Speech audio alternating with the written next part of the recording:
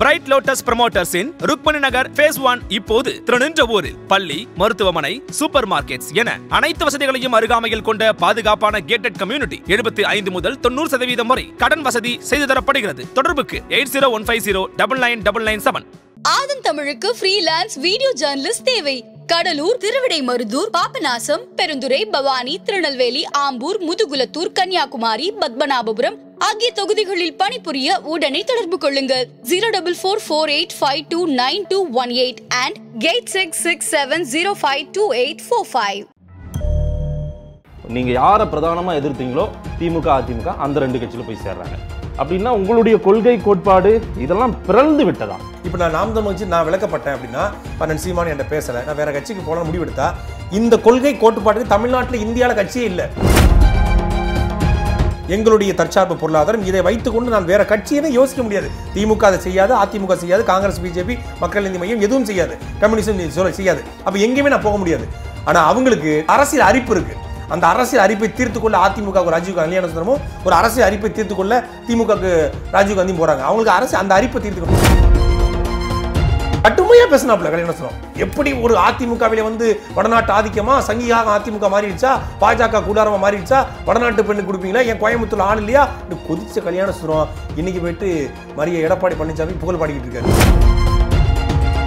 திராவிட முன்னேற்ற கழகம் வந்து இனப்படுகொலைக்கு நடத்துறதே திராவிட முன்னேற்ற கழகம் தான். கருணாநிதி தமிழ்ன துரோகி சக்கர நாற்காலி சதிகாரர் கருணாநிதி. இந்த வார்த்தையை தமிழ்நாட்டு அரசியல் பயன்படுத்திய ஒரே ஆள் ராஜீவ்காந்தி தான். சக்கர நாற்காலி சதிகாரன்னு பேசிய வாயி இன்னைக்கு தலைவர் கலைஞர் தமிழர்களின் தலைவர் தளபதி ஸ்டாலின். நாக்கு அழுகி போற அளவுக்கு பேசுறாங்க. அதாவது வாய்க்கோ நாஞ்சில் சம்பத்தெல்லாம் எங்க அண்ணன் ராஜீவ்காந்தி கிட்ட பிச்சை எடுக்கணும். எடப்பாடி எதிர்த்து ஸ்ரீமான் போட்டியிடுவார்னு ஒரு முறை சொல்ல சொல்லுங்கன்றாரு. எடப்பாடி எதிர்த்து நாம் தமிழ் கட்சியுடைய வேட்பாளர் போட்டியிடுவார். ஹெச் ராஜாவை எதிர்த்து நாம் தமிழ் கட்சி வேட்பாளர் போட்டியிடுவார். உங்க ஆசை தீர எல்லாரையும் எதிர்த்து போட்டிடுவோம். ஹெச் ராஜாவை வைத்து உதயநிதி நிக்கட்டும். அதாவது ஆட்சியில் இல்லாத ஒரு கட்சியை எதிர்ப்புன்றது உலக அரசியல்ல எங்கேயுமே நடக்காது. பெரிய ரவுடி அவன் தானே. இப்ப அதிமுகங்கிறது எங்க ஆறு மணிக்கு சாக போற கிழவன நாலு மணிக்கு நாங்க எங்க கொள்ளணும் நீங்க ஒரு தலைவன் சொல்றதை அப்படி கேட்கணும் தொண்டன் சொல்றதை தலைவன் கேட்டா தலைவன் எந்த கட்சி உருப்படாது. நீங்க தொண்டன் சொல்றதை கேட்டதுனால தான் மதிமுக கட்சி நாசமா போச்சு. தொண்டன் சொல்றதை கேட்டு கேட்டு கேட்டு. யார் கூட கூட்டணி வைக்கிறது? தடவை திமுக போவோம் ஆ போமா இந்த தடவை யார் போய் வைக்கிறது அதிமுக போமா அப்படி திமுக க்கும் அதிமுக க்கும் போய் போய் தான் அதிமுக கட்சி நாசமா போய் நடுத்தல நிக்குது. எவ்வளவு நாம் தமிழர் கட்சிக்கு அதிமுக கொடுக்குது திமுகவை எதிர்க்க? ஏன்னா, ரெண்டு ரூம் ஃபுல்லா அடைச்சிருக்கு. என்ன முடியல? அது என்னக்கு அப்புறம் கவுண்ட் பண்ணிட்டு சொல்லுங்க. திமுகவை எதிர்க்க அதிமுக கிட்ட பணம் வாங்குறது வாங்கி, கேட்கறேன் பணம் கொடுத்துட்டாங்க. எந்த இடத்துல இருக்குன்னு தெரியல. அது சாவி வந்து ராஜீவ்காந்தி கல்யாணத்துல தான் இருக்கு. அது ரெண்டு பேர்ட்டையும் வாங்கி தர சொல்லுங்க. அதிமுக மீதான எதிர்ப்பு பத்து பர்சன்ட் தான் இருக்கு. திமுக எதிர்ப்பு தொண்ணூறு தொண்ணூத்தொன்பது பர்சன்டே இருக்கு. இதற்கு உங்களுடைய பதில் இனி நூறு விழுக்காடு திமுகவே நான் எதிர்க்கிறான் இருக்கேன். இந்த கேள்விக்காகவே. எடப்பாடி பழனிசாமி செல்ல பிள்ளை ஆயிட்டாரு சீமான் அப்படின்ற மாதிரி தான் அவருடைய வார்த்தையே இருக்குது. எடப்பாடி பழனிசாமி சித்தப்பன் தான். எங்க சித்தப்பன் தான். ஆட்சி சரியில்லையா? அண்ணன் மகன் நான் இருக்கேன் நான் வந்து ஆள்றேன். நீ யாரு? அப்படி கேக்குறாரு.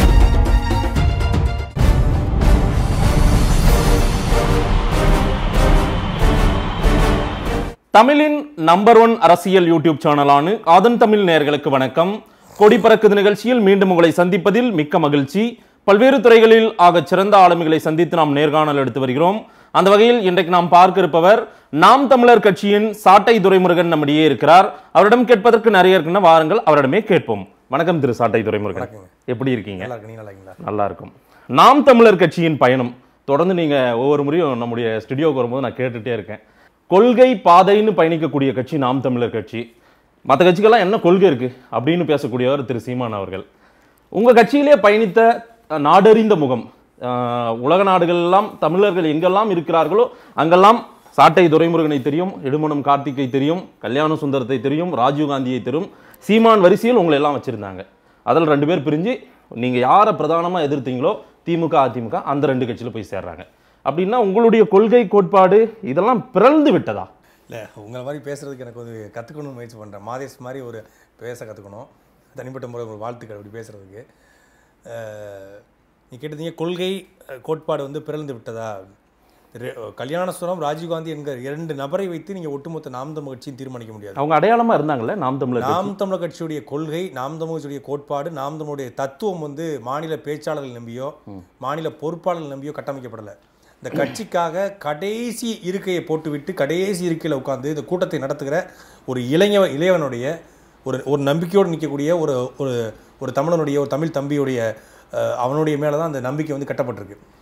நாம் தமிழ் கட்சி வந்து கூண்டோடு கலைக்கப்பட்டு ஒரு ஐம்பது இருபது மாவட்ட சேனலில் கூட்டிக்கிட்டு கல்யாணம் சுரமோ இல்லை ஒரு ஐநூறு பேரை கூட ராஜீவ்காந்தி போல அவர் கூட ஒரு பத்து பேர் போயிருக்காங்க இவர் ஒரு நாலு பேர் போயிருக்காங்க. இவர் நீங்கள் சொன்னீங்க உலகம் முழுக்க அறியப்பட்ட முகங்களாக ராஜீவ்காந்தியும் கல்யாண சுந்தரமும் இருந்தாங்க இடுமானம் கார்த்தி போன்றவர்கள் இருந்தாங்க அப்படின்னு.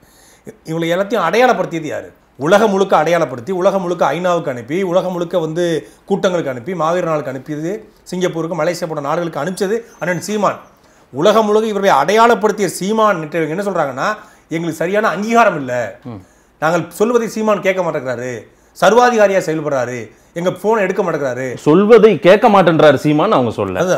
எங்க என்ன பிரச்சனைன்றதை நாங்க செவி கொடுத்து கூட கேட்க மாட்டேன்றாரு. காது கொடுத்து கேட்டாதானே எங்களுக்கு தெரியும். சீமான் அதற்கான வாய்ப்பை கூட திரு சீமான் ஏற்படுத்த மாட்டேன்றாரு அப்படின்றதான் பிரச்சனை. வர்றேன் அதான் தங்களுக்கான அங்கீகாரம் இல்லைன்னு சொன்னார் அண்ணன் சி ராஜீவ்காந்தி அவர்கள். சர்வாதிகாரின்றாங்க சார். இல்ல அண்ணன் சீமான் தன்னை வெளிப்படையா சொல்றாரு இவர் என்ன ராஜீவ்காந்தி என்ன சொல்றது? அவரே தன்னை வந்து அன்பான சர்வாதிகாரி அப்படிங்கிறாரு.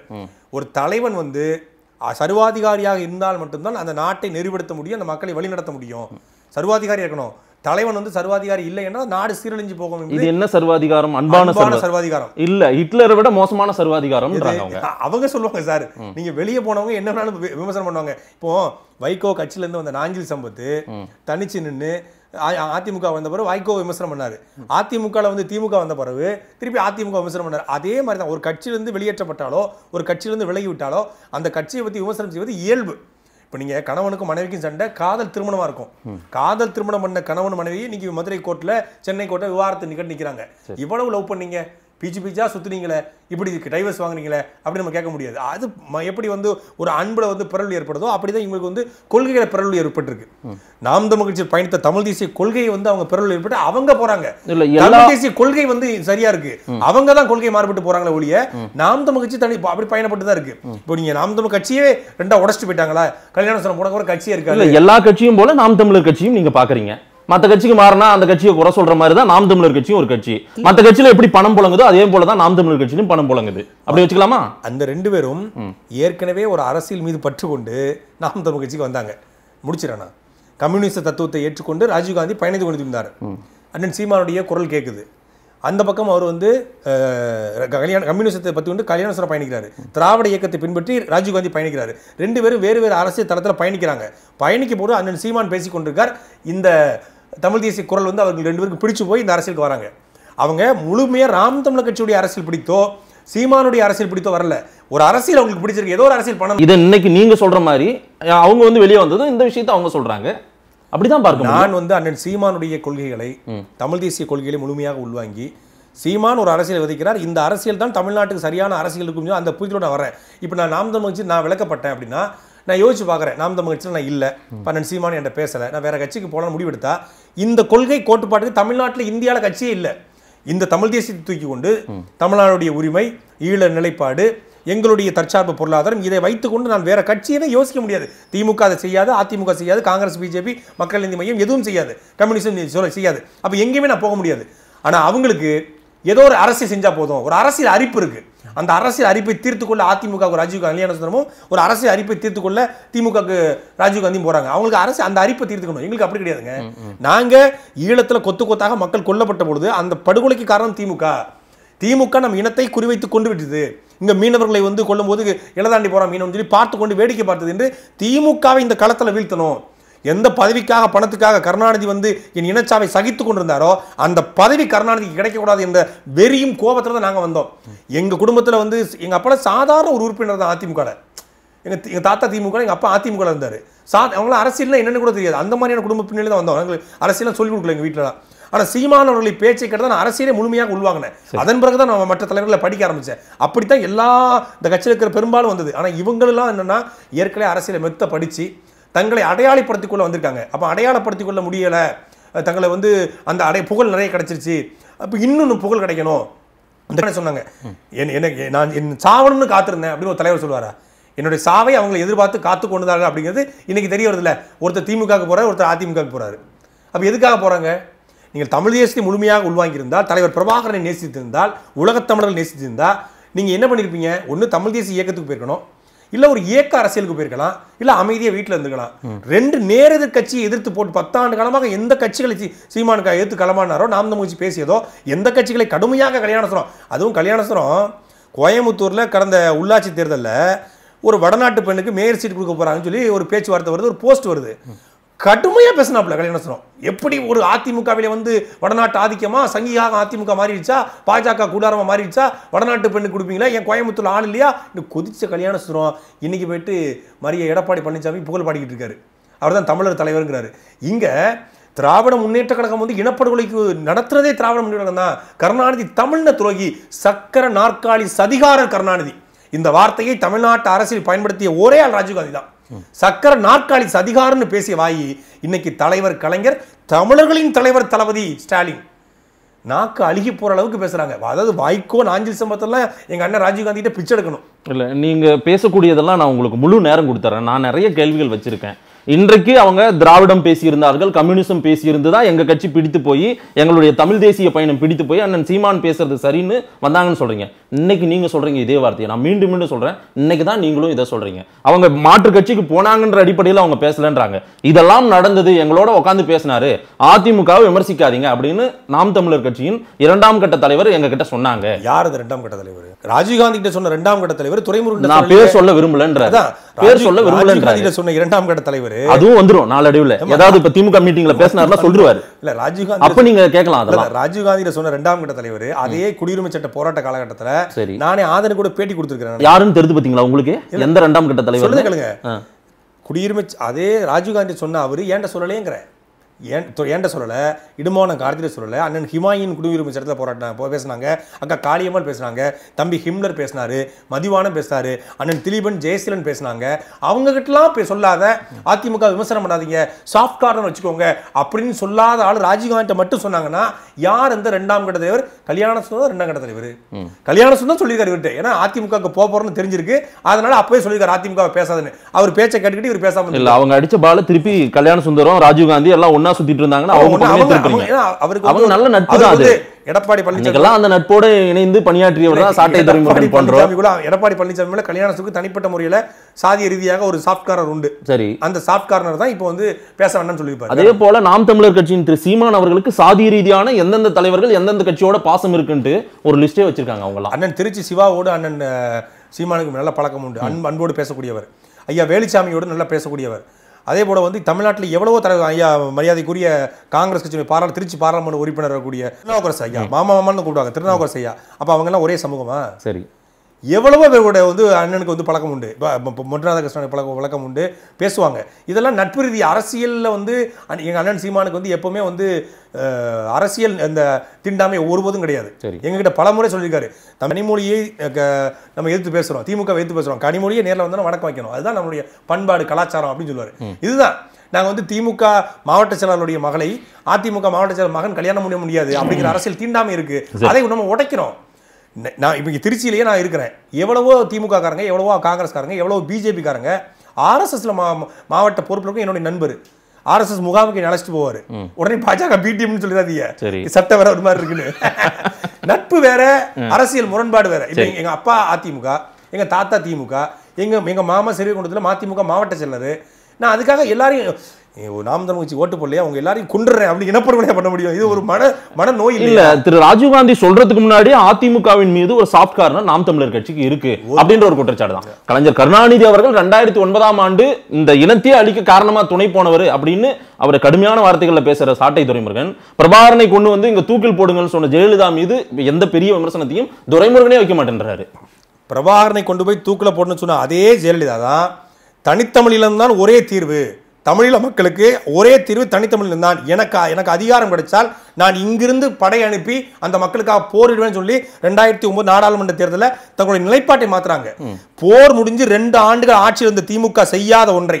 இலங்கையில் நடந்தது போர்க்குற்றம் இலங்கையில் இருந்து இனப்படுகொலை ராஜபக்சே சர்வதேச பயங்கரவாதி என்று தீர்மானம் நிறைவேற்ற முடியாத திமுகவிடமிருந்து மாறுபட்டு மரியாதைக்குரிய அம்மையார் ஜெயலலிதா அவர்கள் வந்து ஆட்சிக்கு வந்த உடனே பிரபாகரனை தூக்கிடுங்கள் என்று சொன்ன ஜெயலலிதா இலங்கை ஒரு போர்க்குற்ற நாடு. ராஜபக்சே போர்க்குற்றவாளி இலங்கை மீது பொருளாதார விதிக்க விதிக்க வேண்டும் என்ற மூன்று தீர்மானத்தை நிறைவேற்றினாங்க. இந்த பக்கம் டெசோ ஒரு அமைப்பெல்லாம் போட்டாங்களே திமுக. அது அது என்ன- மேல- அது நாளை- அதெல்லாம் ஏங்க ஒரு சட்டசபை தீர்மானம் சார் நிலைப்பாடு மாத்தின அம்மையார் ஜெயலலிதாவை ஏத்துப்பீங்க. இந்த பக்கம் டெசோ கூட்டம் டெசோ- என்பது என்ன? தமிழ் தனித்தமிழ்ல இருந்தா ஒரே தீர்வு என்று போராடினாங்களா டெசோல. சரி. நீங்க ஒரு சட்டசபையை கூட்டி ஒரு நாட்டினுடைய முதலமைச்சர் தீர்மானம் போடுவதற்கும் ஒரு கட்சி வந்து மாநாடு போடுவதற்கும் வித்தியாசம். டெசோ மாநாடுங்க. மாநாடு ஆர்ப்பாட்டம் போராட்டம் எல்லாரும் பண்ணலாம். அதிகாரத்தை இன்னும் என்ன பண்ணிட்டு இருந்தீங்க? ரெண்டாயிரத்தி ஒன்பது போர் நடக்கும்போது அதிகாரம் இருந்துச்சு. சரி போர் வேண்டாம். காங்கிரஸ் வந்து உங்களை வந்து இருக்கிருச்சு ஒன்றும் பண்ண முடியல டூ ஜி ஸ்பெக்ட்ரம் ஓகே ஏத்துக்கிறேன். ரெண்டாயிரத்தி பதினொன்னு பத்து பதினொன்று என்ன பண்ணிட்டு இருந்தீங்க? சரி அதெல்லாம் விடுங்க. இல்ல அதிகாரத்தில் இருந்த ஜெயலலிதாவே இதே ஸ்டேட்மெண்ட் கொடுத்திருக்காங்க தெரியுங்களா? என்ன பண்ணிருக்காங்க? பிரபாகரனை அழைத்து வந்து தூக்கில் போட வேண்டும் அதே அதிகாரத்துக்கு வந்த திருப்பி அவங்களுக்கு என்ன. சார் அதிகாரத்தில் அவங்க தன்னை வந்து கன்னட பார்ப்பன பெண் நான் ஒரு பிரா- பிரா- பார்ப்பன பெண்ணு கன்னட பாப்பாத்தி என்று நேரடியாக அறிவித்தாங்க. நேரடியாக விடுதலை புலிகளை ஏத்தாங்க. விடுதலை புலிகளின் உயிருக்கு ஆபத்துன்னு சொன்னாங்க. மாற்று கருத்தே இல்ல. ஜெயலலிதா நேரடியா நின்னாங்க. ஆனா கருணாநிதி தமிழ்ல தலைவர் வாழும் வள்ளுவர் நடமாடும் மாணவை அஞ்சுகம் பெற்ற குஞ்சுகம் இப்படியெல்லாம் சொல்லிட்டு ஒன்- நீ தமிழ் சார் இந்த பக்கம் ஈழத்தாயின்னு சொன்னீங்க இலை மலர்ந்தால் ஈழம் மலர்னு ஈழத்தாய் யார் சொன்னது? திரு சீமான் சொல்ல சொல்லியிருக்காருல்ல? ஒருபோதும் சொல்ல இது சும்மா நீங்க அது இதெல்லாம் இந்த- சங்கிகளும் ஆற இந்த திமுக உடன்பரப்பு இலை மலர்ந்தால் ஈழம் அந்த சொல்லலையா? அம்மா சொன்னாங்க? அந்த அம்மா சொன்னாங்க தமிழ்நாட்டில் சீமான் அதிமுக மேடை தோறும் பேசினாரா இல்லையா? அதிமுகவுக்கு ஓட்டு கேட்டாரா இல்லையா? அதிமுக மேடையில பேசலங்க. நான் அதிமுகவுக்கு ஓட்டு கேட்டாரா இல்லையா? ஓட்டு கேட்டாரு. அதிமுகவுக்கு ஆதரவு கொடுத்தாரா இல்லையா? அதிமுக ஆதரவு சீமா கொடுக்குறது சீமான் அப்போ கட்சியே கிடையாது. ரெண்டாயிரத்தி ஒன்பது நாடாளுமன்ற. தேர்தலில் சீமான் ஒரு இயக்குனர். அம்மையார் ஜெயலலிதாவுக்கு வாக்கு கேட்டாரா? ஒரு நிமிஷம் இருங்க பேச விடுங்க. அம்மையார் ஜெயலலிதா அவர்கள் வந்து அன்னைக்கு ஒரு நிலைப்பாடு எடுக்கிறாங்க. சரி. அந்த நிலைப்பாட்டை ஆதரித்து பாரதிராஜா அவர்கள் தலைமையில் ஆர் கே செல்வமணி அண்ணன் சீமார் அமீர் எல்லாரும் இயக்குனர் சங்கமாக சேர்ந்து வாக்கு சேகரிக்கிறாங்க. என் இனத்தை அளிக்கிற காங்கிரஸ் கட்சிக்கு நீ ஓட்டு போடக்கூடாதுன்னு காங்கிரஸ் நின்ன தொகுதிகள் எப்போ? ரெண்டாயிரத்தி ஒன்பது பாராளுமன்ற தேர்தலையும் காங்கிரஸ் நின்ன தொகுதிகளில் மட்டும் வேலை செய்கிறாங்க அதிமுக நாற்பது தொகுதியில் பிரச்சாரம் பண்ணல. ஒரு பக்கம் இன்னொரு பக்கம் கட்சி ஆரம்பித்த பிறகு ரெண்டாயிரத்தி பதினொன்று சட்டமன்ற தேர்தலில் நாம் தமிழ்ச்சி வலிமை அடையல அப்போ. ஆனால் தேர்தல் காலத்தில் மக்கள்கிட்ட யார்ட்டையாவது ஓட்டு நாம் தமிழ்ச்சிக்காரன் யாருக்காவது ஓட்டு போட்டு தானே ஆகணும் அப்போ அந்த அடிப்படையில் என்ன பண்ணுறோம் காங்கிரஸ் நிற்கிற அறுபத்தி மூணு தொகுதியில் மட்டும் காங்கிரஸ்க்கு நேர் எதிராக அன்னைக்கு பெரிய சக்தியாக இருக்கிறது அதிமுக. அதிமுக மேடையில் போய் ஜெயலலிதா ஓட்டு கேட்கல. ஜெயலலிதா நின்ன தொகுதியில் கூட நாங்கள் போகல. அன்னைக்கு அம்மையார் ஜெயலலிதா வந்து ஆர்கே நகரில் இங்கே என்ன நினைக்கிறேன். ஜெயலலிதா அன்னைக்கு வந்து ரெண்டாயிரத்தி பதினொன்றில் பதினொன்றுல வேற தொகுதி நின்னாங்க. அங்க அறுபத்தி மூணு தொகுதி காங்கிரஸ் நின்ற தொகுதியில மட்டும் காங்கிரஸ் எதிர்த்து நின்ற அதிமுக தேமுதிக கம்யூனிஸ்ட் எல்லாத்துக்கும் நாங்க வாக்கு கேட்டோம். அதுல மாற்று கருத்து இல்ல. அன்னைக்கு காங்கிரஸ் வீழ்த்தி காங்கிரஸ் இனப்படுகொலைக்கு வந்து உதவி செஞ்சிருந்தாங்க. இங்கிருந்து படத்தை கொடுத்தாங்க ப- படைகளை அனுப்புனாங்க. அதை வீழ்த்தணும். அந்த அடிப்படையில் தான் நாங்கள் எங்களுடைய மேடைகளில் நாங்கள் பேசிட்டு கடைசியாக அதிமுக ஓட்டு போடுஞ்சோம் ரெண்டாயிரத்தி பதினாறு நாடாளுமன்ற தேர்தலில் பாஜக காங்கிரஸ் ரெண்டையும் எதிர்த்து அதுக்கு மாற்று சக்தியாக மோடியா லேடியா என்று கேட்ட அம்மையார் ஜெயலலிதாவை நாங்கள் ஆதரிச்சோம். அதன் பிறகு ரெண்டாயிரத்தி பதினாறு சட்டமன்ற தேர்தலில் நேரடியாக ரெண்டு திராவிட கட்சிகளை எதிர்த்து ஒரே மாற்று நம்ம தான் அப்படின்னு இது பண்ணோம். நம்ம வளராத காலகட்டத்தில் ஒரு வெப்பம் நமக்கு தேவைப்படுது. எப்படி சுபாஷ் சந்திர போஸ் அவர்கள் ஹிட்லர்கிட்ட போய் ஹிட்லர் வந்து ஒரு ஒரு ஒரு பயங்கரவாதி என்று தெரியும். இருந்தாலும் வெள்ளைக்காரனை வீழ்த்துவதற்கு ஹிட்லரின் உதவி கேட்டு சுபாஷ் சந்திர போஸ் போய் நின்னாரோ அதே அடிப்படையில் தான் அந்த ஃபார்முலா அடிப்படையில் தான் அம்மையார் ஜெயலலிதா கிட்ட நாங்க உதவி கேட்காம எங்கள் ஆதரவை கொடுத்தோம். உங்களுடைய வெப்பன் எப்பவுமே திமுக பக்கமே குறி வைக்குது. திமுக தானே அதிகாரத்தில் இருந்து கொண்டு இன மக்களை சாவை சகித்துக் கொண்டு இருந்தது மூணு மணி நேரம் போலியான உண்ணாவிரதம் இருந்து அந்த மக்கள் பன்னெண்டாயிரம் பேர் சாவதற்கு காரணமாக திமுக தான் முத்துக்குமார் செத்த போது காதல் தொழில் செத்து போறான்னு திமுக தலைவர் கருணாநிதி தான் சொன்னார். மீனவன் எல்லாம் தாண்டி போறான்னு சொல்லி மீனவனை சு- சாவை சகி- சகித்துக் கொண்டிருந்தார். என் மீனவனை அடித்தால் சிங்கள மாணவனை அடிப்பேன்னு சொல்ல சீமானை கைது செய்து போட்டது கருணாநிதி தான். கருணாநிதி ஆட்சி காலத்தான் ஈழத்தமிழர்களுக்காக எங்கள் தலைவர் பிரபாகரன். இத்தாலியில் பிறந்த அன்னை சோனியா காந்தி உனக்கு அன்னையாகலாம். ஈழத்தில் பிறந்த தலைவர் பிரபாகரன் எனக்கு அண்ணனாக கூடாது என்று கேட்ட ஒரே ஒரு காரணத்திற்காக சீமான் மீது தேசிய பாதுகாப்பு சட்டம் கருணாநிதி ஆட்சி காலம் தான் போடப்பட்டது. கருணாநிதி ஆட்சி காலம் தான் அதிக மீனவர்கள் கொல்லப்பட்டாங்க. கருணாநிதி ஆட்சி தான் மாணவர்கள் பிள்ளைகள் போடாடக்கூடாதுன்னு பள்ளி கல்லூரியை மூடினாரு. எல்லா துறை- எல்லாத்தையும் தாண்டி சாபர் சேட்டுங்கிற ஒரு ஒரு அயோக்கிய ஒரு ஒரு காவல்துறை வச்சு இங்கிருந்து ஈழத்துக்கு கொண்டு போன ரத்த பாக்கெட்டு மருந்து மாத்திரை உணவு பொட்டலங்களை தூக்கி நசுக்கி போட்டு ராமேஸ்வரம் கடற்கரை உடச்சி போட்டாங்க. அந்த துரோகத்தை செஞ்சது கருணாநிதி அரசு. அப்ப கருணாநிதி அரசின் மீது எங்களுக்கு கோபம் வன்மம் இருக்கு. அந்த வன்மத்தை நாங்கள் தீர்ப்போம். எந்த பதவிக்காக பணத்துக்காக எந்த டூஜினுடைய வழக்குக்காக நீங்கள் வந்து ஈழச்சாவை ஈழச்சுடைய சாவை சகித்து கொண்டிருந்தீங்களோ அதை நாங்கள் வந்து அந்த பதவி உங்களுக்கு கிடைக்கக்கூடாதுன்னு சொல்லி அண்ணன் சீமான் கட்சி ஆரம்பித்த போது சத்தியம் செய்தார். அதன்படி நாங்கள் நிற்கிறோம் சீம் திரா அதை எல்லாத்தையும் தாண்டி இந்த திராவிடம் என்கிற தத்துவம் ஐம்பது ஆண்டு காலமாக இந்த மண்ணில் பெரியார் அண்ணா கலைஞர் என்று சொல்லி சொல்லியே ஐம்பதாயிரம் ஆண்டுக்கு மூத்த தமிழனுடைய வரலாற்றை முழுமையாக மறைத்தது. இந்த இது வந்து வெறும் பெரியார் மண்ணு அண்ணா மண்ணு கலைஞர் மண்ணு தானா? பெரியார் அண்ணா கலைஞர் இந்த மண்ணுக்காக உழைச்சிருக்காங்க. எனக்கு மாற்று கருத்து இல்லை. ஏதோ ஒரு வேலை செஞ்சிருக்காங்க. ஆனால் மாற்று கருத்து முழுமையாக அவங்க அவங்கள புறக்கணிக்க நான் விரும்பலை. ஆனால் அவங்களுக்குள்ளேயே தமிழகத்துடைய வரலாற்றை முடக்கண்ணைப்பதான் நான் வந்து ஒரு அவமானமாக கருதுறோம் நாங்கள் வள்ளுவர் தோன்றிய மண் இது. ராஜராஜ சோழனும் ராஜேந்திர சோழனும் வாழ்ந்த மண்ணு. புலித்தேவனும் மருதுபாண்டியும் தீரன் சின்னமலையும் அழகுமுத்துக்கோனும் வாழ்ந்த மண்ணு. பாரதியாரும் பட்டுக்கோட்டை கல்யாணசுரம் வாழ்ந்த மண்ணு. ரெட்டமலை சீனிவாசனும் அயோத்தாசனும் முத்துராமலிங்க தேவரும் ஜீவானந்தமும் சிங்காரவேலரும் மாப்போசியும் வாழ்ந்த மண்ணு. அவர்கள் உழைத்த மண்ணு. காமராஜரை விட ஒரு நேர்மையான தலைவர் இந்த மண்ணில் உண்டா? காமராஜரா கலைஞரா என்று தராசில் வைத்தார். கருணாநிதி கீழே நடப்பார். காமரா கருணாநிதி காமராஜர் இங்கே இருப்பார். கருணாநிதி மேலே போயிடுவார். தராசட்டில் அப்பேற்பட்ட நேர்மை உண்மையும் நேர்மையான ஒழுக்கத்தை சேர்ந்த ஆட்சியை கொடுத்தவர் காமராஜர். ஆனா காமராஜர் மண்ணு எவனும் சொல்ல மாட்டான் ஆனா அந்த ஜீவானந்த வரலாறு எல்லாம் படிச்சுட்டு வந்து உங்களோடு பயணித்த கல்யாண சுந்தரம் மீது நீங்க கம்யூனிச வரலாறு அவர் பேசிட்டு இருந்தாரு இவர் திராவிட வரலாறு பேசியிருந்தாருன்ற பார்வையெல்லாம் சொல்றாங்களே அதுதான் வார்த்தை வியாபாரிகளாக அவர்கள் மாவி போர்வார்கள் எங்க அண்ணன் எங்க அண்ணன்கள் மார்கள் மாறுவான்னு நாங்க நினைக்கலையே. நான் இது வந்து நீங்க ராஜீவ்காந்தி அண்ணன் போய் பேசுறத பார்க்கும்போது நான் ஒரு காலத்தில் பேராவூரில் கூட்டம். நான் வந்து அப்போ தான் நான் கட்சியில் சேர்ந்துருக்கிறேன். பேராவூரில் கூட்டது போது அண்ணன் சீமான் வந்து தாமதமாக தான் வராங்க. அப்போ ராஜீவ்காந்தி அண்ணன் பேசியிருக்காரு? ராஜீவ்காந்தி அண்ணன் பேச பேச்சை கேட்கறது நாங்கள் ஒரு பெரிய கிரேஸில் இருப்போம். இப்போ எப்படி நாஞ்சில் சம்பத்துக்கு வந்து மதிமுக கூட்டம் இருந்துச்சோ அப்படி ராஜீவ்காந்திக்கும் கல்யாணத்துக்கும் நாம் தமிழ் கூட்டம் இருந்தது. உண்மைதான். நானே வந்து இப்போ கல்யாண சீமானை கூட பெரிய நெருக்கம் கிடையாது. அப்போ கல்யாண சொல்ற ராஜீவ்காந்தி கூட நெருக்கம். அப்போ இவங்கள மாதிரி நான் வரணும்னு நான் ஆசைப்பட்டிருக்கேன். அப்படிப்பட்ட அப்படி இவங்களை பார்த்து பார்த்து நம்மளை வந்து என்ன புத்தகம் படிக்கணும்னா என்ன பேசணும்னா இவங்க கிட்ட கேட்டு நாங்கள் வந்து வளர்ந்த நாங்கள் இப்போ நாங்கள் வளர்ந்து நிற்கிறோம் இவங்க எங்கள் முதுகில் குத்திட்டு போகிறாங்க க முதுகுல குத்திட்டு வேற கட்சிக்கு போகிறல மாட்டுக்கிறது இல்லை. போன பிறகு நாம் தமிழ்ச்சி வந்து குருமூர்த்தியோட டோனும் சீமான் டோனும் ஒன்றா இருக்கு. பாஜக பிடிஎம்னு சொல்றதெல்லாம் எவ்வளவு அபத்தம்? இல்ல குருமூர்த்தி வகைராக்களுடைய மைண்ட் செட் என்ன இருக்கோ அதே தான் ஏறக்குறைய சீமானுடைய மைண்ட் செட் இருக்கு அப்படின்றாரு. இதே ராஜீவ்காந்தி ரெண்டாயிரத்தி பதினஞ்சாம் ஆண்டு வீரத்தமிழர் முன்னணி என்று நாம் தமிழ் கட்சி தோற்றுவிக்கப்பட்ட இயக்கம். சரி. அந்த வீரத்தமிழ் முன்னணி இயக்கத்தை தோற்று விழாவில் ராஜீவ்காந்தி பேசியிருக்காரு. என்ன சொல்றாருன்னா உனக்கு இந்து முன்னணி என்றால் எனக்கு வீரத்தமிழ் முன்னணி. உனக்கு ராமன் என்றால் எனக்கு ராவணன். இப்படிங்க ராமனுக்கு எதிராக ராவணனை எடுப்பது ஆரிய ஆரிய எதிர்ப்பா இல்லையா?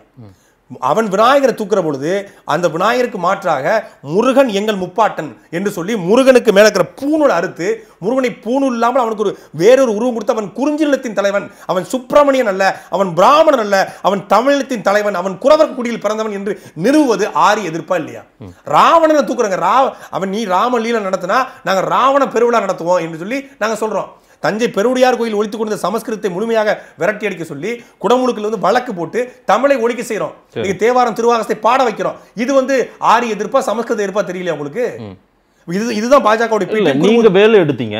நீங்க எடுத்த வேலை திரு எல்முருகன் எடுக்கிறாரு. அதுக்கு பிறகு தைப்பூசத்துக்கு காவடியே தூக்குறாரு. நாங்கள் வேலை எடுப்பது அரசியலுக்காக வேலை தூக்குனா ஓட்டு போடுவான் முருகனை தூக்குனா ஓட்டு போடுவாங்க வேலை எடுப்பது பண்பாட்டு புரட்சி இல்லாத அரசியல் புரட்சி வெல்லாது என்று அம்பேத்கர் சொல்றாரு. என் மக்களுக்கு வந்து இந்த ஆரிய கடவுள்கள் மீது ராமர் மீது இந்த ஆரிய விநாயகர் மீது மக்கள் மோகம் கொண்டு நிற்கிறான் அதிலிருந்து மக்களை மீட்டெடுத்து குலதெய்வ வழிபாடு. முருகன் எங்களுடைய கொற்றவை எங்களுடைய காளி எங்களுடைய சிறு குறு தெய்வங்களால் முடக்கப்பட்டிருக்கிற தெய்வங்களுடைய அடையாளப்படுத்த வேண்டியது ஒரு தலைவனுடைய கடமை. இது கட்சி அரசியல் தான் விடுங்க. வரலாறு அது. அதை சொல்றீங்க. ஆனா அந்த வேலை பாஜக எடுக்கிற விதத்தை பெரிய அளவுக்கு விமர்சனம் கூட பண்ண மாட்டேன்றீங்களே. விமர்சனம் பண்ணல? நாங்க என்ன என்ன நீங்க பேசுறீங்க? நாங்கள் வேலை எடுப்பது எங்களுடைய ஆயுதம். வேல் எங்களுடைய ஆயுதம் எங்களுடைய பண்பாட்டு புரட்சியுடைய அடையாளம் எடுக்கிறோம். வேலை அவர்கள் எடுப்பது அரசியலுக்கு எடுக்கிறாங்க. ஏன்னா ஜெய் ஸ்ரீராம்னு முழக்கம் போட்டாங்க. தமிழ்நாட்டை எடுபடாது. பாரத் மத்தாக்கி ஜெய் நாங்க எடுபடாது. ராம ராமன் ராமனுடைய கோயிலை கட்ட போற தமிழ்நாட்டுனா இங்க எடுபடாது. அப்ப என்ன பண்ணணும்? தமிழ்நாட்டுடைய தமிழ் முருகனா இருக்கக்கூடிய ஏற்கனவே சீமான் ஒரு பாதையை போட்டு வச்சிட்டாரு. அந்த பாதையை கைப்பற்றணும்னு சொல்லி அவங்க கைப்பற்ற நினைக்கிறாங்க. அது அரசியலுக்காக ஒரு இந்து ஓட் பேங்க் பாதையை அவங்க கைப்பற்றிட்டாங்க. நீங்க போட்ட பாதை பாக்குறாங்க. பாக்குறாங்க. ஆமா. ஆனா கல்யாண சுந்தரத்துக்கு அப்படி தெரியல. நீங்க தான் ரூட்டே போட்டு கொடுக்குறீங்க பாஜகவுக்கு. அவங்களுடைய பாதை என்னவோ நீங்க தீர்மானிக்கிறீங்க அப்படின்றாரு. குரு- குருமூர்த்தி எங்களை இயக்கிறா இருந்தா.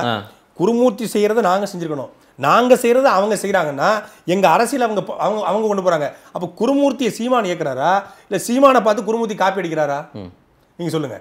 நான் வெளிப்படையா மாதிஷ்ட கேட்கிறேன் குருமூர்த்தி நம்ம பேசிக்கொள்ற அளவுக்கு பெரிய ஆளா? குருமூர்த்தி தமிழ்நாட்டு அரசியலை தீர்மானிச்சிருவாரு. தமிழ்நாட்டில் இவர் தான் முதலமைச்சராகணும் இவர் முதலமைச்சர் வரக்கூடாது. தமிழ்நாட்டில் இன்ன அரசியல் நடக்கணும் இன்ன ஆர்ப்பாட்டம் நடக்கணும் இன்ன போடணும் தமிழ்நாட்டு மக்கள் இந்த உணவை தான் சாப்பிடணும் இந்த உடையை தான் உடுத்தணும். தமிழ்நாட்டில் இந்த பஸ் தான் ஓடணும்னு முடிவெடுக்க இடத்துல குடிமூர்த்தி இருந்தாருன்னா சரி. ஐம்பது ஆண்டு காலமாக பெரியாரும் அண்ணாவும் கலைஞரும் திமுகவும் செஞ்சது என்ன? பாம்பையும் பாப்பானையும் கண்டா பாம்பு விட்டு பாப்பான் அடி என்று சொன்ன திமுக இன்னைக்கு குருமூர்த்தியை பார்த்து பயப்பட வேண்டிய அவசியம் என்ன இருக்கு? எந்த இடத்துல பயந்தாங்க? எந்த இடத்துல பயப்பட போய் தானே சொல்றாங்க. குருமூர்த்தியுடைய குருமூர்த்தி வராரு. குருமூர்த்தி வயராக்களை மீ- ஒழிக்கணும். குருமூர்த்தி வயராக்களோட குர- குரல் ஒலையை நிற்கணும் சனாதனத்தை ஒழிக்கணும். சமூக நீதியை காப்பாற்றணும் அப்ப இது என்னது? பயப்பட உங்களோட நீங்க குருமூர்த்தியை எப்படி பாக்குறீங்களோ அதே மாதிரி தான் நீங்கள் திரு சீமான் சொல்றாரு எங்க அன்புக்குரிய அண்ணா ஆராஜான்னு சொல்றாருல குருமூர்த்தி எப்படி விமர்சனம் பண்றாருன்னு நீங்க பாத்திருக்கீங்களா அவருடைய வீடியோக்கள்ல? அவர் பேசுனது ஆராஜாவுடைய விமர்சனத்தை. அதுதான் குருமூர்த்தியை நீங்க விமர்சனி விமர்சிப்பதை விட அதிகமா விமர்சிக்கிறாரு ஆராசா. அப்புறம் எப்படி நீங்க திமுக வந்து குருமூர்த்தி பயப்படுதுன்றீங்க? குருமூர்த்தியை பார்த்து பயப்பட போய் தானங்க. குருமூர்த்தி வகராக்களுடைய குரல் வலையை நிற்கணும் குருமூர்த்தி வகராக்கள் உங்கள் உங்களோடு பயணித்த ராஜீவ் காந்தி சொல்றாருங்க. அதைத்தானங்க சொல்றேன்.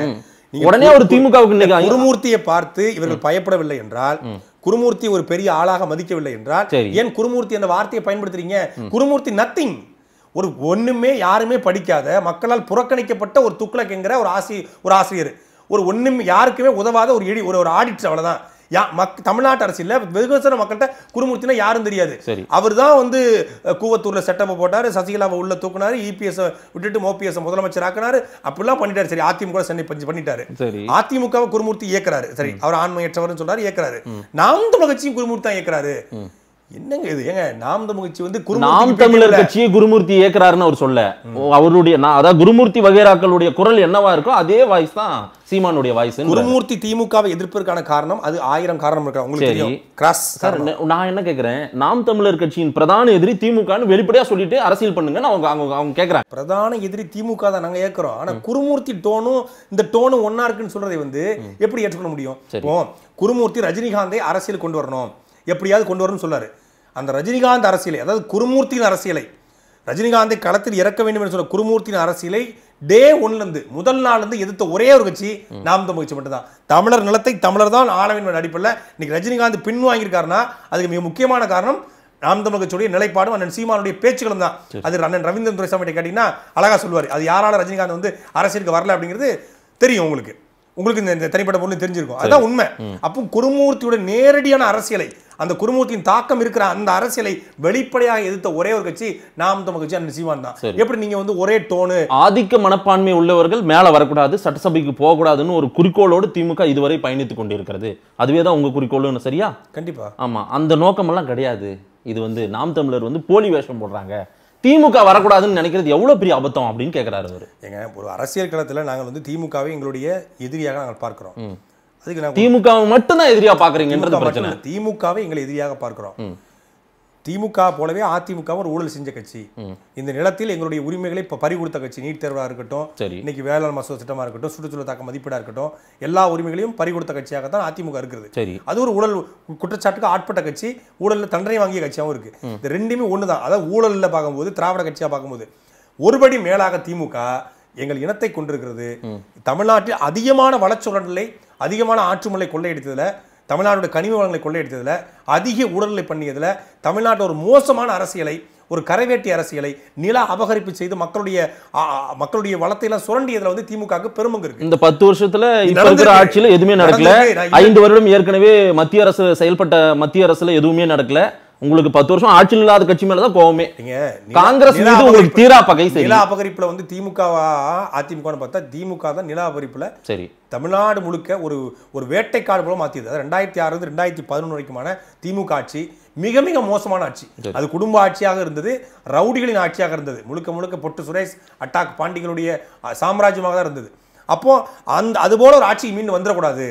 வந்தா ஏற்கனவே பத்தாண்டுகள் வந்து ஒரு பதவிக்காக பணத்துக்காக காத்து கொண்டிருக்கிற திமுக அதிகாரம் கிடைச்சா தமிழ்நாடு மொத்தமா முடிச்சிருவாங்க என்ற நிலைப்பாடு நாங்கள் எடுக்கிறோம். அதுபோல திராவிட திமுக நீங்க திராவிட கட்சி அதிமுக திராவிட கட்சியே இல்லைன்ட்டாங்க. நாங்க அரசியல நேரடி தத்துவமாக திராவிடத்தை வீழ்த்த நினைக்கிறோம். ஆரியத்தை ஆரியமும் திராவிடம் ஒண்ணு என்ற நிலைப்பாட்டுக்கு நாங்க வர்றோம். ஆரியத்தையும் வீழ்த்தணும். ஆனா ஆரியம் இங்க இருக்கிற பாஜக வந்து அஞ்சு விழுக்காடு கூட இல்ல. அது முக்கிக்கிட்டு தான் இருக்கு. தன்னை காப்பாற்றிக் கொள்ள ஏதோ இந்து வேல் வேல் பூஜைன்னு போய்கிட்டு இருக்கு. ஆனா திமுக கிட்டத்தட்ட ஐம்பத்தி மூணு விழுக்காடு நாடாளுமன்றத்தில் பெற்றிருக்கு. மீண்டும் அதிகாரத்தை பெற்றா அது என்ன வேணாலும் செய்யும் என்ற- எண்ணம் வருகிற போது எங்களுக்கு ஒரு தேர்தல் அஜெண்டா வைக்கிறோம். ஸ்டாலினை எதிர்த்து அண்ணன் சீமான் நிற்கிற பொழுது அது மிகப்பெரிய பலமாக தமிழ்நாடு முழுக்க பேசப்படும். ஒரு தலைவரை எதிர்த்து ஆயிரத்தி தொள்ளாயிரத்தி ஐம்பது ஸோ குடியரசு நாடு ஆன பிறகு ஆயிரத்தி தொள்ளாயிரத்தி ஐம்பதுக்கு பிறகு தமிழ்நாடு எந்த தேர்தலையும் ஒரு தலைவரை காமராஜரை எதிர்த்து ஒரு அண்ணா போட்டியிடல. ஒரு அண்ணாவை எதிர்த்து ஒரு காமராஜர் போட்டியிடல. எம்ஜிஆரை எதிர்த்து கருணாநிதி போட்டியிடல. ஜெயலலிதாவை எதிர்த்து ஸ்டாலின் போட்டியிடல. ஸ்டாலினை எதிர்த்து எடப்பாடி பழனிசாமி போட்டியிடல. முதல் முதலாக ஐம்பது ஆண்டு காலத்துல ஒரு தலைவரை எதிர்த்து இன்னொரு கட்சியின் தலைவர் போட்டியிட போறது இந்த முறை தான் ஸ்டாலினை மட்டும் தான் நீங்க வலிமையான தலைவரா பாக்குறீங்க. அப்படி வச்சுக்கலாமா? அவங்க அப்படி சொல்றாங்க. அப்ப தமிழ்நாட்டு அரசுல சார் ஐம்பது நான் கேக்குறது ரொம்ப புரிதலோட கேக்குறேன் சார். மக்களுக்கு போய் புரியட்டும் அதனால எடப்~ ஒரு ரூபாய் களவாடினவங்க உங்களுக்கு பெரியவங்களா தெரியல. லட்ச லட்சமா களவாடினவங்கள தான் ஃபர்ஸ்ட் அடிக்கணும்னு நினைக்கிறீங்க. யாரை முதல்ல வீழ்த்தணும்? யார் வளர்ந்து வராங்களே? விதையா வராங்க விதை போட்ட உடனே செடியா முளைச்சு வராங்களே அவங்கள தானே வீழ்த்தி ஆகணும்? பிரச்சனைக்குரியவங்க அவங்க தானே? இவங்க நாங்க வந்து புலி புலி வேட்டைக்கு போயிட்டு இருக்கோம். சரி. இதுல கொசு எறும்பெல்லாம் வந்து உட்கார்ந்து அடிச்சுக்கிட்டு இருக்க முடியாது. அது போற போக்குல அதுவாவே போற போக்குல அதுவே அந்த வேகத்துல ஓடும்போது பாஜக அஹ், அதிமுக புடதியில சட் போட்டு அடிச்சு போயிட்டே இருக்கலாம். நீங்க பாக்ஸிங் போயிட்டு இருக்கும்போது தெருச்சண்டைகளை போட சொல்றீங்க. நாங்க பாக்ஸிங் போட நினைக்கிறோம். திராவிட எதிரி பெரிய எதிரி நீங்க தானே சொல்றீங்க. ஊடகங்கள் எல்லாரும் தான் பேசுறாங்க.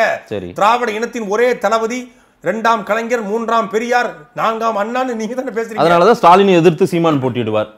ஆமா அவர் எடப்பாடி எதிர்த்து சீமான் போட்டியிடுவார்னு ஒரு முறை சொல்ல சொல்லுங்கன்றாரு. எடப்பாடி எதிர்த்து நாம் தமிழ் கட்சியுடைய வேட்பாளர் போட்டியிடுவார். ஹெச் ராஜாவை எதிர்த்து நாம் தமிழ் கட்சி வேட்பாளர் போட்டியிடுவார். பொன் ராதாகிருஷ்ணன் எதிர்த்து ராகவனை எதிர்த்து எல்லாரும் எதிர்த்து போட்டியிடுவோம். எல்லா தொகுதியிலும் சீமானு நிக்கிறோம் நாம் தமிழ் கட்சியில வேட்பாளர் இல்லையா. இருநூத்தி முப்பத்தி நாலு வேட்பாளர் இருக்காங்க. உங்க ஆசை தீர எல்லாரும் எதிர்த்து போட்டிடுவோம். ஹெச் ராஜா வைத்து உதயநிதி நிக்கட்டும். அதாவது ஆட்சியில் இல்லாத ஒரு கட்சியை எதிர்ப்புன்றது உலக அரசியல்ல எங்கேயுமே நடக்காது. பெரிய ரவுடி அவன் தானே. இப்ப அதிமுகங்கிறது எங்க ஆறு மணிக்கு சாக போற கிழவன நாலு மணிக்கு நாங்க எங்க கொள்ளணும்? அதிமுக அழிந்து கொண்டிருக்கிறது. அது அழிய போற கட்சி. திமுக தான் அடுத்த ஆட்சிக்கு வரதுக்காக முன்னூத்தி அப்படி சொல்லலையே. உங்க கூட பயணிச்சவங்க அப்படி சொல்லல. அவங்க அவங்கள வந்து ரொம்ப தொடாதுப்பா. அவங்க போ நம்மள வந்து தேர்தல் நேரத்துல கவனிச்சுப்பாங்க. அப்படின்னு சொல்றாரு கவனிச்சாங்க என்ன கவனிச்சாங்க? கவனிச்சிட்டாங்க. கல்யாண சுரத்தை நல்லா கவனிச்சிருக்காங்க. எனக்கு தெரிஞ்ச அளவுக்கு வந்து நல்ல ஹெல்த்தியாவும் வெல்த்தியாவும் அண்ணன் இருக்காப்ல. நல்லா சரி இருக்கு சரி கல்யாண சுந்தரம் பணம் வாங்கிட்டாரு. நீங்கள் பணம் வாங்கி கொண்டிருக்கிறீர்கள் அப்படின்றது தான் அவருடைய வார்த்தையா இருக்குது. உங்களை கவனிச்சிட்டு இருக்காங்க அதிமுக அப்படின்னு அவர் சொல்றாரு. எது? அதிமுக வந்து சீமான்ட்ட பணம் கொடுத்து நீங்க நீங்க நான் நல்லா வந்து திமுகவை பேசுங்க அப்படின்னு சொல்லுது. கேட்கறதுக்கு ஜாலியா இருக்கு தலைவா. சரி. எங்க அண்ணன் சீமானுடைய வீடு வாடகை வீடு. கட்சி அலுவலகம் வாடகை வீடு. வா கார் டியூ இருக்கு பாருங்க. கார் டியூ டியூ கட்டுறதுக்கு திணறி கொண்டிருக்காரு. வண்டியை சர்வீஸ் விட முடியாம திணறி கொண்டிருக்காரு. கட்சி தம்பிகள் வந்து அங்க உழைச்சி வெளிநாடு முழுக்க உழைச்சி வெம்பாடுபட்டு வெயில்ல உழைச்சி ஒட்டக மேய்க்கிட்ட விளைச்சி அதுல நூறு இரநூறு அனுப்பி அங்கதான் கூட நடந்து கொண்டிருக்குது. இப்போ நான் வந்து ஒரு மருத்துவ பிரதிநிதியா இருக்கிறேன். ஒரு மருத்துவ நிறுவனம் வச்சிருக்கிறேன். அந்த நிறுவனத்தை வர காசுல கொஞ்சம் ஒரு ஐயாயிரம் பத்தாயிரம் வச்சு கொடுப்பேன். என் தம்பி அருண் சிங்க இதுல பெங்களூர்ல ஒரு ஐடி கம்பெனி வேலை பார்த்தாரு. அவர் ஒரு ஐயாயிரம் பத்தாயிரம் கொடுப்பார். இப்படி தமிழ்நாடு முழுக்க கூடிய நாங்க உழைச்சி தான் காசு கொடுக்குறோம். ஆனா அதிமுக பணம் கொடுத்து நாம் தமிழ் செயல்பட சொல்லுது எங்களுடைய பத்தாண்டு கால அரசியலை கேவலப்படுத்துவது. சரி. எ- நாங்க வந்து ஒரு சின்ன சின்ன பிள்ளைகள் ஒரு பெரிய கனவோடு வந்து அரசியல் நேர்மையான அரசியலை விதைக்க முடியும். இந்த சாக்கடை அரசியலை பூக்கடையாக மாற்ற முடியும். இந்த படநாயக அரசியல் ஜனநாயகமா மாற்ற முடியும். நினைக்கிற எங்களுடைய கனவையும் சேர்த்து நீங்க சீமான் மீது கோவம் இருந்தா சீமானை திட்டுங்க. சீமான் மீது சீமான போன் எடுக்கல ஏதோ விமர்சனம் பண்ணுங்க. ஆனா நாம் தமிழ் அரசியலை கேள்விக்குறியாக்கி அதிமுக பணம் வாங்கிட்டாங்க. சாஃப்ட் கார்னர் கவனிச்சுக்கோ அப்படின்னு சொல்றதுல. அதிமுக கிட்ட நீங்க பணம் வாங்கல சரி. நீங்க சொல்றீங்க பாத்தீங்களா? நூறு இரநூறு வெளிநாட்டுல எல்லாம் புலம்பெயர்ந்த தமிழர்கள் எங்களுக்காக அனுப்புறாங்க அதை வைத்து கட்சி நடத்த அவங்களுக்காவது சரியான மரியாதை கொடுத்தீங்களா நாம் தமிழர் கட்சி? எங்க சமீபத்துல நாம் தமிழர் கட்சி நிர்வாகி பேசுறாரு. புலம்பெயர்ந்த தமிழர்கள்லாம் அங்க வந்து கேள்வி கேட்க கூடாது எங்களை வந்து பார்த்து அப்படின்னு பேசினாரு. திரு சீமானே சொல்றாரு கவுண்டமணி செந்தில் கிரீஸ் டப்பா எப்படி உதைப்போமோ அந்த மாதிரி உதைப்போம். நான் யாருக்கு சீட்டு கொடுக்குறேனோ அவங்களுக்கு தான் சீட்டு கொடுப்பேன். நாம் தமிழ் கட்சியுடைய பொதுச் செயலாளருடைய இது வந்து இது சர்வாதிகாரத்தை விட மோசம் இல்ல? நாம் தமிழ் கட்சியுடைய பொதுச் செயலாளர் ஐயா தடா சந்திரசேகர் அவர்கள் பேசினதை நீங்க குறிப்பிட்டு ஆமா ஆமா. எதுக்காக அவங்க பேசுனாங்க? கல்யாண சுரம் நீக்கப்பட்ட போது உலகம் முழுக்க ஃபோன் பண்ணி ஏன் கல்யாணம் நீக்குனீங்க? கல்யாண சுரம் என்ன தப்பு பண்ணிட்டாரு? ஏன் கல்யாண சுரம் நீக்குன்னு கேட்குறாங்க இன்னைக்கு பதில் தெரிஞ்சிச்சுல. கல்யாண சுரம் அதிமுக போயிடுவார்னு தெரியும். ராஜீவ்காந்தி எங்கேயாவது போயிடுவார் பணத்தை வாங்கிட்டு போயிடுவார்னு எங்களுக்கு தெரியும். அதனால தான் நீக்கணும். ஆனா அதை நீக்கிறத அவங்க புரிதல் இல்லாம கேள்வி கேட்டாங்க. இங்க என்ன முடிவெடுக்குன்னு தெரியும்? தமிழ்நாட்டு அரசியலை பத்தி உங்களுக்கு தெரியாது. அதனால செய்து அவங்க நூறு ஐநூறு ஆயிரம் பத்தாயிரம் உங்களுக்கு காசு கொடுக்க மட்டும் அவங்க தேவை. அது- அவ- அது- அவங்கள ஒருத்தர் யாரு? இருக்க யார் கேள்வி கேட்டா தெரியுமா? துரோகிகள். கேள்வி கேட்டோம் பூரா போன் உங்களுக்கு நூறு ஐநூறு மாசம் ஐயாயிரம் பத்தாயிரம். அவங்கள கேள்வி கேட்கலையே. அவங்க எல்லாம் புரிதலோட இருக்காங்களே. அப்படி யாராவது ஒரு ஈழத்தமிழர் தடா சந்திரசேகர் அந்த வார்த்தையை சொல்றாரு. ஒட்டுமொத்த ஈழத்தமிழன் சொல்ல எவன் வந்து கல்யாண சுரத்தை நம்ம கல்யாண சுரத்தை வந்து பெரிய ஆளா நினைச்சு கல்யாண சுரம் வந்து இந்த இனத்தை வெளியில காப்பாற்றுவார் நினைச்சு கல்யாண சுரத்துக்கு ஆதரவாக நின்னாலும் அவனை தான் கேள்வி கேட்டான். பல ஈழத்தமிழர் நண்பர்களுடைய உறவுகளுடைய அந்த வார்த்தைகள்லாம் கேட்டீங்கன்னா நீங்க அதற்கெல்லாம் என்ன பதில் சொல்ல போறீங்கன்னு தெரியல. அவங்க எல்லாம் உங்களை கேள்வி மேல் கேள்வி கேட்டாங்க. உண்மையான உண்மையான ஈழத்தமிழர்கள் என்ன நடக்கிறது நாம் தமிழர் கட்சிக்குள்ள? எங்க கிட்ட சொல்லுங்கன்னு கேக்குறாங்க. அதான் அவங்களுக்கு நீ- நீங்க ஒரு ஒரு கட்சியில இருந்து ஒருத்தரை நீக்கிறோம். சரி. இப்போ வெளிப்படையா ஒரு சில காரணம் முன் வச்சோம்னா அந்த அவங்களுடைய தனிப்பட்ட வாழ்க்கை பாதிக்கப்படலாம். குடும்ப வாழ்க்கை பாதிக்கப்படலாம். என்ன காரணத்துக்கும் நீக்கப்பட்டிருக்கலாம்ல? பல குற்றச்சாட்டுகள் இருக்கும். அந்த குற்றச்சாட்டை வெளிப்படுத்தணும்னா தனி மனிதன் அவன் அவன் அவனுடைய குடும்பம் பாதிக்கப்படக்கூடாது தான் பொதுவாக நம்ம நீக்கி விடுறோம் அவங்க வந்து வெளியே போயிட்டு நாங்கள் நீக்கப்பட்ட நீக்கப்ப நீக்கப்படுற காரணத்தை சொல்லாதனாலே அவங்க அதை ஒரு ப்ளஸ் பாயிண்டாக எடுத்துக்கிட்டு நாங்கள் வந்து தத்துவ ரீதியாக முரண்பட்டோம். சீமான் ஃபோன் பேசல. அதெல்லாம் காரணம் இல்லை. காரணம் எங்களுக்கு இல்ல தெரியும் நீங்க அளவளவி நீங்க அதிகப்படியான பாசம் திரு கல்யாண சுந்தரம் மீதெல்லாம் தான். இப்பவும் இப்பவும் இருக்கும். நிச்சயமா இருக்க வாய்ப்பு இருக்கு. அவர் இந்த உங்க கட்சிக்காக அவருடைய குடும்பத்தை கூட இழந்து தியாகம் செய்திருக்கிறார். பிரச்சனைகள் எல்லாம் ஃபேஸ் பண்ணாரு. எல்லாரும் எல்லாரும் அவங்க தியாகம் பண்ணாங்க எல்லாரும் உழைச்சாங்க நான் மாட்டுக்கிறதுல அந்த உழைச்சதுக்கு உண்மையா இருந்தாங்களா? கூப்பிட்டு பேசலையே திரு சீமான். எத்தனை முறை பேசினாரு? எனக்கு தெரியுங்க. எத்தனை முறை பேசினாரு? பத் பல அதெல்லாம் நம்ம திருப்பி திருப்பி பேசியாச்சு. அது போயிட்டு நானும் பலமுறை இந்த கேள்வி கேட்டேன். பல முறை பேசிட்டாரு இல்ல அவரு கவுண்டமணி செந்தில் இந்த கிரீஷ் டப்பாவை உதைக்கிற மாதிரி பேச்செல்லாம் வார்த்தையெல்லாம் சொல்லவே இல்லை. அது நீங்க சன் டிவிக்காரன் போட்டது. அவன் கலைஞர் ஆட்சி பொற்கால ஆட்சின்னு போடுறவன் அவன் பொய்யா தான் போடுவான் ஆஹா அதெல்லாம் நீங்க நம்பிக்கிட்டு இருக்காதீங்க. என்ன சொன்னார்னா நான் ஒரு வேட்பாளரை தேர்ந்தெடுக்கிறேன். மாவட்ட கலந்தாய்வு நடத்தி மாநில கலந்தாய்வு நடத்தி கட்டமைப்பு குழுவினை வச்சு ஒரு வேட்பாளரை தேர்ந்தெடுக்கிறேன். தேர்ந்தெடுக்கப்பட்ட வேட்பாளரை நான் வேலை செய்ய மாட்டேன். நீங்க அவனை போட்டால் தான் வேலை செய்வேன். இவரை போட்டால் வேலை செய்ய மாட்டேன்னு அப்படி சொன்னீங்கன்னா செந்தில் என்ன கவுண்ட் பண்ணி மிதிக்கிற மாதிரி மிதிச்சு விடும். காமெடியா தன் தம்பிகிட்ட பேசுறாரு. எது சார் சீமான் வந்து சார் ஒரு திரைப்பட படப்பிடிப்புல சமீப அது ஒரு சில வருடங்களுக்கு முன்னாடி நடந்ததுன்னு நினைக்கிறேன். திரைப்பட படப்பிடிப்புல திரு சீமான் அவர்கள் இருக்காரு. ஒரு ஒரு தொண்டர் ஒருத்தர் அவர்கிட்ட சீமான் நாம் தமிழர் கட்சியின் தம்பி ஒருத்தர் பேசுறாரு. நீ யாரா கேள்வி கேட்க? நீ கொடி கட்டனே அது உன்னோட உரிமை. நீ யார் என்ன கேள்வி கேட்க? நான் யார வேட்பாளர் போடணும்னு எனக்கு தெரியும். நீ போறனா போ. இப்படி எல்லாரையும் போ போன்னு சொல்லிட்டு யாரை வச்சு கட்சி நடத்த போறீங்க? ஏங்க, ஒரு கட்சி- இல்ல உங்க கொள்கை தான் என்ன? கொள்கை அந்த கொள்கையை எப்படி நிலைநாட்ட போறீங்க? ஒரு கட்சியோட பொறுப்பு ஒரு கட்சி ஒரு ஒரு தொகுதியில் யாரை வேட்பாளராக போட்டால் சரியாக இருக்கும்? யாரை வேட்பாளராக போட்டால் அந்த தொகுதிக்கு வந்து அவங்க வேலை செய்வாங்க? யார் அந்த மக்களுக்கு சரியாக வருவாங்க? அப்படின்னு ஒரு ஸ்ட்ராட்டஜி அண்ணன் சீமானுக்கு இருக்கும். ஒரு தலைவரா. அவர் தான் முடிவெடுக்கணும். ஜனநாயகம் கருத்துரிமை எல்லாம் எல்லாமே இல்ல. எல்லாமே உண்டு. எங்களை கூட்டு கருத்தே கேட்க மாட்டீங்க. எங்க மாநில பொறுப்பாளர்கள் மாவட்ட பொறுப்பாளர்கள் கட்டமைப்பு குழு எல்லாரையும் கூட்டிச்சு பேசியிருக்காங்க. அதை தாண்டி கீழே இருக்க ஒருத்தன் வந்து புரிதலாம எங்க இந்த அக்காவை போட்டால் தான் நான் வேலை செய்வேன். ஏன் அவங்களுக்கு தகுதி இல்லையான்னு கேட்குறான் புரியுதா உங்களுக்கு? ஒருத்தர் வேட்பாளர் நாங்கள் அறிவிச்சிட்டேங்க. ஒரு ஒரு எக்ஸுங்கிற ஒரு ஆளை அறிவிச்சாச்சு. அவன் ஒய்யுங்கிற ஒரு ஆளை கூட்டு வந்து இவங்களை போடுங்கன்னா இது இது சரியா இருக்கும். நம்ம ஏ கட்சி வந்து இப்போ நீங்க திமுக வந்து கே என் மேற்கு தொகுதியில் அறிவிக்கிறாங்க. திருச்சி மேற்கு தொகுதியில். கே என் போடக்கூடாது. நீங்க வந்து பழனி ஆண்டியை தான் போடணும் திருச்சியில அப்படின்னு சொல்லி ஒருத்தர் சொல்லுவாரா? அது அது அது அப்படியே அவங்க கேட்பாங்க. ஸ்டாலின் சொல்றது அப்படியே கேட்பாங்க. அது மாதிரி அதுதானே ஜனநாயகம். அதுதான் கட்சியோட கட்சியோட கொள்கை அதுதான் கட்சி. நீங்க ஒரு தலைவன் சொல்றதை அப்படி கேட்கணும். தொண்டன் சொல்றதை தலைவன் கேட்டா தலைவன் எந்த கட்சி உருப்படாது. நீங்க தொண்டன் சொல்றதை கேட்டு கேட்டதுனால தான் இந்த மதிமுக கட்சி நாசமா போச்சு. தொண்டன் சொல்றதை கேட்டு கேட்டு கேட்டு யார் கூட கூட்டணி வைக்கிறது? அப்புறம் ஆ இந்த தடவை திமுக போவோம். ஆ போமா இந்த தடவை யார் வைக்கிறது? அதிமுக போவோமா? அப்படி திமுக அதிமுக போய் போய் தான் அதிமுக கட்சி நாசமா போய் நடுத்தல நிக்குது. தலைவன் தாங்க முடிவெடுக்கணும் தலைவன் தான் வழி நடத்தணும். இதை செய் அப்படின்னு சொல்றவன் வந்து கட்டளை அவன் வந்து மேனேஜர் தலைவன் பாதை இன்னைக்கு வந்து தொடங்கப்பட்ட பாதையிலே இல்லைன்றாங்க. தொடங்கிய நாங்கள் இருக்குங்க. லட்சக்கணக்கான தம்பிமார்கள் உலகம் முழுக்க இருக்காங்க. நாங்கள் இருக்கிறோம். அந்த லட்சக்கணக்கான தம்பிமார்களுடைய குரல்களை கூட காது கொடுத்து கேட்க ஊர- ஊரடங்கு காலகட்டத்துல மட்டும் ரெண்டே முக்கால் லட்சம் பேர் நாம் தமிழ் கட்சி நினைச்சிருக்காங்க ரெண்டு ரெண்டு ராஜீவ் காந்தி கல்யாணத்துல போனது நீங்க பெருசா பேசுறீங்க. ரெண்டே முக்கால் லட்சம் பேர். ரெண்டு லட்சத்தி எழுபத்தஞ்சாயிரத்தி இருநூத்தி ஐம்பத்தி மூணு பேர். ரெண்டு பேரை விட்டுருங்க. அவ்வளவு பேர் சேர்ந்திருக்காங்க. நாம் சரி. இது சீமானுடைய நம்பிக்கையில் கொள்கையில பத்தாண்டு பத்தாண்டுக்கு முன்னாடி சொன்னாரு. நான் திமுக. அதிமுகவோட காங்கிரஸோட பிஜேபியோட கூட்டணி வைக்க மாட்டேன் என்று பத்து வருஷத்துக்கு முன்னாடி சொன்னாரு. இதே இந்த இருபத்தொன்பதாம் தேதி சென்னையில் நடந்த பால் பழனி பாபா கூட்டத்தில் சொல்லியிருக்காரு.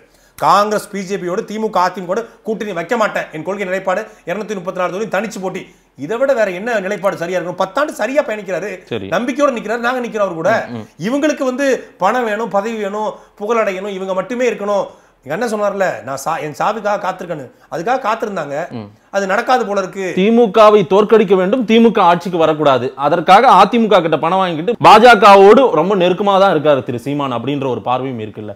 அது நீண்ட காலமாவே இருந்துட்டே இருக்கு ராஜீவ் காந்தி பா- சொல்றதுக்கு பா- முன்னாடி பாரதிய ஜனதா கட்சியோட அண்ணன் சீமா நெருக்கமா இருந்திருந்தா நேத்து கல்யாணராமன் சொல்லி நபிகள் நாயகத்தை பத்தி பாரதிய ஜனதா கட்சியுடைய ஒரு ஒருத்தர் பேசியிருக்காங்க நீங்க கேட்டிருப்பீங்க.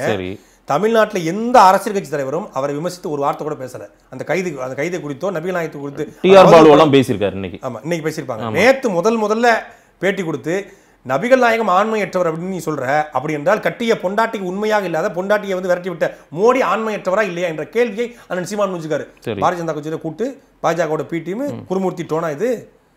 தமிழ்நாட்டுல புதிய கல்வி தேர்வு சுற்றுச்சூழல் தாக்க மதிப்பீடு எல்லாவற்றையும் எதிர்த்து ஆண்மையோடு எதிர்த்து பேசிய ஒரே ஆள் அவர்தான். குடியுரிமை சட்ட காலகட்டத்தை தேச துரோக வழக்கு வாங்கியிருக்காரு. இதை தாண்டி தமிழ்நாட்டுல எட்டு வழிச்சாலை பாரதிய ஜனதா கட்சியுடைய நேரடி திட்டம் எட்டு வழிச்சாலை. மத்திய அரசு திட்டம். எட்டு வழிச்சாலை எதிர்த்து கைதாகிய ஒரே ஆளு அண்ணன் சீமான் மட்டும்தான். சரி. இங்க கூட கூட தேசிய பாதுகாப்பு சட்டத்தில் கைதாகி இன்னமும் ஜாமீன் கூட வாங்காம சுத்திட்டு இருப்பவர் சீமான் மட்டும்தான். அந்த சந்தேகத்துக்கு பதில் சொல்லுங்க. அதுதான் வழக்கறிஞர் வழக்கறிஞருக்கு எங்க அண்ணன் ராஜீவ் காந்தி வழ- பெரிய வழக்கறிஞர் நான் நினைச்சுக்கிட்டு இருந்தேன். காசு வாங்காம தான் சார் அவர் எல்லாமே உங்களுக்காக திரு சீமான் பக்கத்துல நின்று இருக்காரு. அதுக்கப்புறம் அந்த-. பாயிண்ட் வர்றேன். அந்த. பாயிண்ட் அப்படியே வைங்க. இதுக்கு முதல்ல பதில் சொல்லிடுறேன். தேச துரோக வழக்கு வாங்கி ஜாமீனில் வாங்கவே இல்ல. கைதும் ஆகலன்னு சொல்லி ஒரு குற்றச்சாட்டு முன் வச்சிருக்காரு. அது குற்றச்சாட்டுல அவதூறு. பிப்ரவரி மாதம் இருபத்தி ஒன்றாம் தேதி அண்ணன் சீமான் அவர்கள் வந்து கோவை ஆத்துப்பாளத்தில் பேசுகிறாங்க குடியுரிமை சட்டத்துக்கு எதிராக. மே மாதம் இருபத்தி நாலாம் தேதி. எப்போ? முழுக்க நாடு முழுக்க ஊரடங்கு லாக்டவுன் இருக்குது கொரோனா உச்சத்தில் இருக்குது அந்த காலகட்டத்தில் அவர் மீது வழக்கு போடப்படுகிறது. கோவை குனியமுத்தூர் காவல் நிலையத்தில் வழக்கு போடப்பட்டு அன்னை அன்னைக்குடைய சூழ்நிலை உங்களுக்கு தெரிஞ்சிருக்கும் ஒரு ஊடகவியலாளர்களா நாட்டில் முக்கியமான வழக்கு கொலை வழக்கு பாலியல் வழக்கை தவிர வேற எந்த வழக்கையும் நீ நீதிமன்றம் விசாரணைக்கு எடுக்கல. அதனால இவரை கைதும் பண்ணல இவர் வந்து பிணை எடுக்க தேவையில்லை. அதே காலகட்டத்தில் எனக்கு ஸ்ரீபெரும்புதூர்ல டிக்டாக் போட்டோம் ஸ்ரீ ராஜீவ்காந்தி எடுத்து என் மேலேயும் வழக்கு. என் மேலே தேசிய பாகத்திரம் போட்டிருந்தாங்க என் மேலே வழக்கு போட்டாங்க. ஒன் ஃபிஃப்டி த்ரீ ஏலாம் போட்டாங்க. அதாவது ரெண்டு இனங்களுக்குள்ள பிரிவினை தூள் வழக்கு போட்டாங்க. நானும் கைதாகல பிணையும் எடுக்கல. சரி. என் மேல வழக்கு இருக்கணும் அப்ப நான் காங்கிரஸ் காங்கிரஸ் கைகூலியா? காங்கிரஸ் தான் வழக்கு போட்டுச்சு. ஆனா இன்னைக்கு வரைக்கும் கைது பண்ணல பிணை எடுக்கல. அதான் சார், அந்த அதிமுக காலகட்டத்துல- ஒரு நிமிஷம். அதிமுக அந்த காலகட்டத்துல-. அந்த காலகட்டத்துல முக்கியமான வழக்கை மட்டும் தான் எடுத்தாங்க வேற வழக்கில் எடுக்கல. இதே மாதிரி கூடங்குளம் அணுகுலை எதிர்த்து போராடிய அண்ணன் சுபோதயமாருடைய எல்லார் மேலையும் தேசத்துறவு வழக்கு இன்னைக்கும் இருக்கு. இது வரைக்கும் பிணை எடுக்கல கைதாகல. தமிழ்நாடு முழுக்க பழனி பாபா மீது நூத்தி அம் நூத்தி முப்பத்தி ரெண்டு வழக்குகள் இருக்கு. அதுல நான் எண்பத்தெட்டு வழக்கு தேசத்துறவு வழக்கு.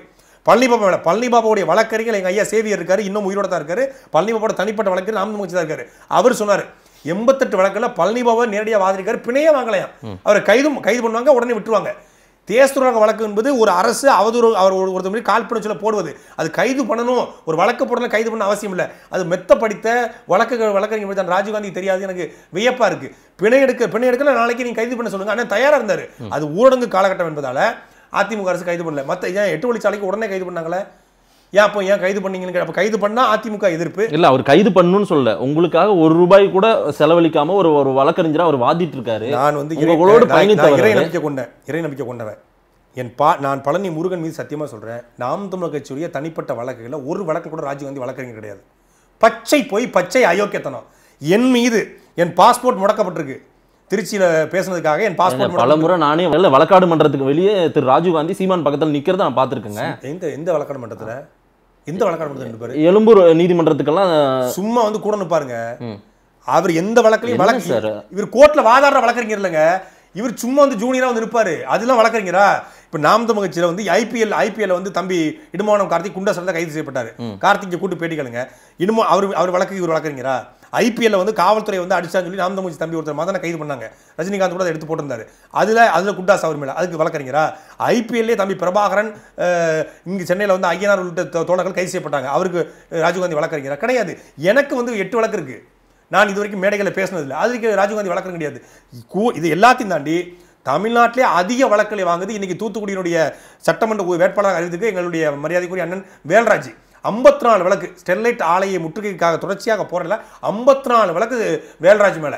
அதே மாவட்ட செயலர் இசைக்கு இசைக்கு மேல வந்து ஐம்பத்தி நாலு வழக்கு அதுக்கெல்லாம் வந்து ராஜீவ்காந்தி வழக்கு கிடையாது ஸ்டெர்லைட்ல தூத்துக்குடியில் வந்து போராடி எங்க கட்சிக்காரங்க எல்லார் மேலேயும் வழக்கு எதுக்கும் அவர் வழக்கு கிடையாது கூடங்குளத்துல எங்க கட்சிக்காரங்க இருக்காங்க. எங்க அண்ணன் கணேசா இருக்காரு.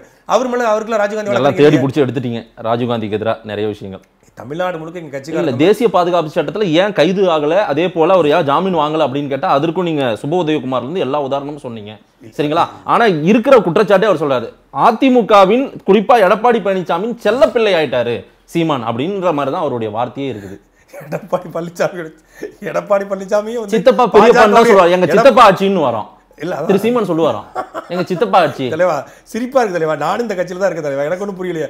எதுக்கு சித்தப்பான்னு சொன்னாரு தெரியுமா? சரி. ரஜினிகாந்த் தமிழ்நாட்டை ஆளுங்கிறாரு. மராட்டிய மண்ணில் பிறந்த ரஜினிகாந்த் தமிழ்நாட்டை ஆளணும் தமிழ்நாட்டை வேற தலைவர்களே இல்லையா? ஏன் எங்க சித்தப்பு எடப்பாடி பழனிசாமி இருக்காரு? எடப்பாடி பழனிசாமி சித்தப்பன் தான். ஓபிஎஸ் எங்க சித்தப்பன் தான். ஆட்சி சரியில்லையா? அண்ணன் மகன் நான் இருக்கேன் நான் வந்து ஆள்றேன். நீ யாரு? அப்படி கேட்கிறாரு எங்க சித்தப்பன்னு கிண்டல் பண்றாருங்க. அதாவது உங்களுக்கு புரியல நான் சொல்றது? எங்க சித்தப்பன் இங்க சரியில்லை சரியில்லைன்னு ஒத்துக்கிட்டாரு. சரியில்லை ஆனாலும் நாங்கள் வருவோங்கிறாரு. இதை விட சமீபத்தில் வந்து சொன்னாரு திரா ரஜினிகாந்துக்கும் எங்களுக்குமான சண்டை என்பது அது பகை. ஆனா ஸ்டாலினுக்கும் எங்களுக்கு வந்து பங்காளி சண்டை. அப்படின்னு சொன்னாரு. அப்ப ஸ்டாலின் வந்து இவர் சித்தப்பு அவர் பங்காளி. பங்காளின்னு என்ன? அண்ணன் தம்பி. மாமச் அம்மா அண்ணன் தம்பி உறவு.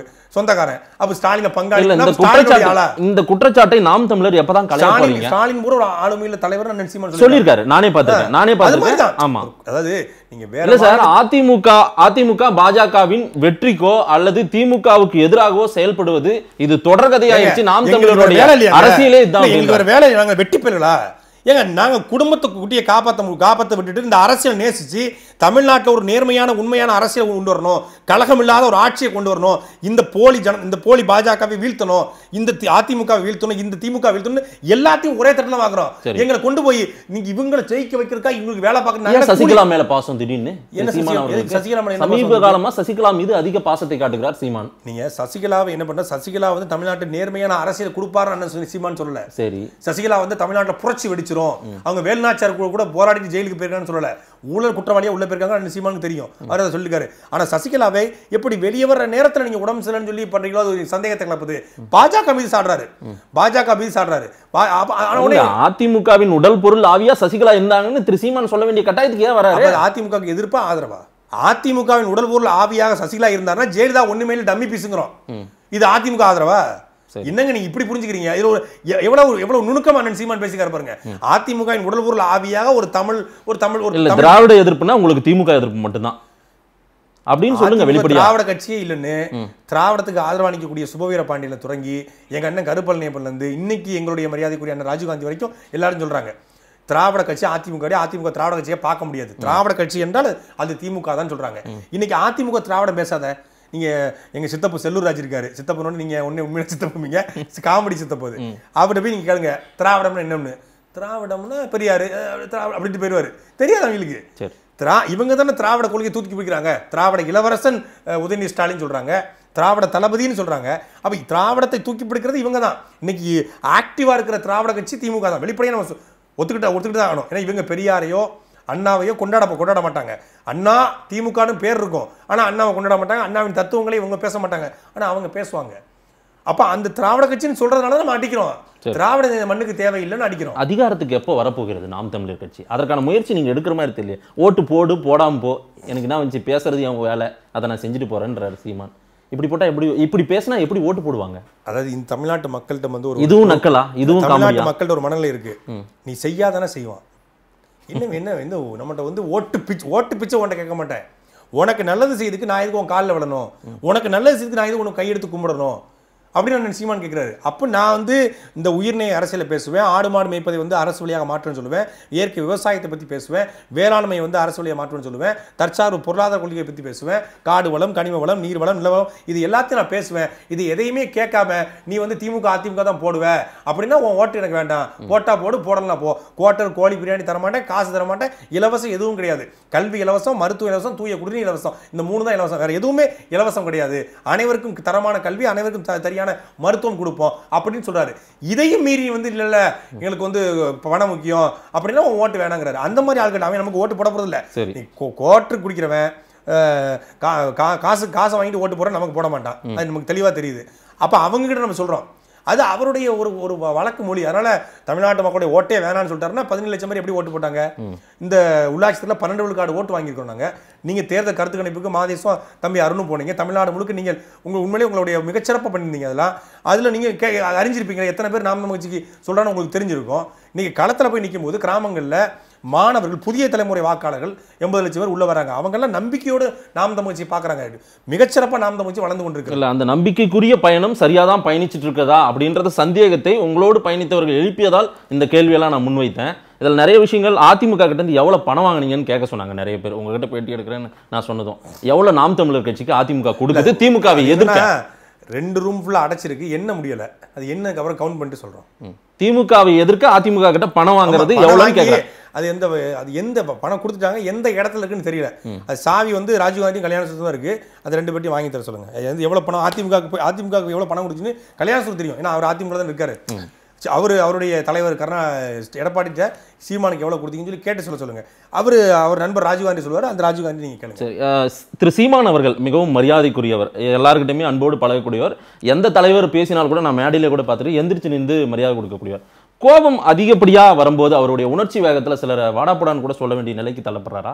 சமீபத்தில் திரு ஸ்டாலினை வாடாப்போடான்னு எல்லாம் ஒருமையில பேசுகிறார் ஒரு மேடையில். ஐயா பே மணியரசன் பார்த்து ரசிக்கிறார் அந்த பேச்சை பார்க்கும்போது. அந்த காட்சியில் எங்களால் பார்க்க முடிஞ்சது. ஆக ஆக என்னடா சொல்ல வர? சொல்றா அப்படின்னு திரு சீமான் சொல்றாரு. இது ஒரு ஒரு ஒரு சாத எத்தனையோ ஸ்டாலினே வந்து வாடா போடான்னு பேசுறாரு. ஆராசா எடப்பாடி பழனிசாமி வந்து நீ என்ன பெரிய புடுங்கியான்னு கேட்குறாரு அதிமுக திமுகவுடைய கொள்கை பரப்பு செயலாளர் ஒரு பாராளுமன்ற உறுப்பினராக இருந்தவர் எவ்வளவு பெரிய ஒரு ஒரு தலைவர் அதிமுக திமுக மிகப்பெரிய தலைவராக பார்க்கப்படுற ஆராசா பாருங்க இப்ப கூட எடப்பாடி பாசம் தான் உங்களுக்கு எடப்பாடி பாசம் இல்ல. என்னதான் இருந்தாலும் எடப்பாடி தமிழ்நாட்டுடைய முதலமைச்சர் தானே புடிங்கின்னு சொல்றாரு. நீங்க அதையெல்லாம் கேள்வி கேட்க மாட்டீங்க. சீமான் வந்து வாடா போடான்னு சொல்லிட்டாரு. அது ஒரு அவர் மதுரையில் சிவகங்கையில் வாழ்ந்தவர். ஒரு ஒரு ஒரு பா பாமர மொழியில் பேச்சு மொழியில் கூப்பிடுறாரு. அதுக்குன்னு எடப்பாடி ஸ்டாலினை பார்த்துட்டு என்ன ஸ்டாலின் நல்லா இருக்கியா? அப்படின்னு கேட்க முடியும். வாங்க ஸ்டாலின்.